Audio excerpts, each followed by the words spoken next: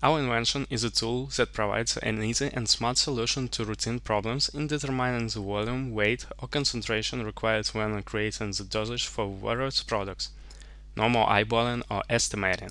Moreover, you don't need to, to, either calculate anything or look through complicated tables or think of a new ways of measurement. The action of our device looks like a magic trick.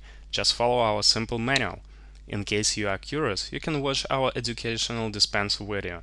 Our dispenser is internationally patented in the United States, European Union, CIS and other countries and regions.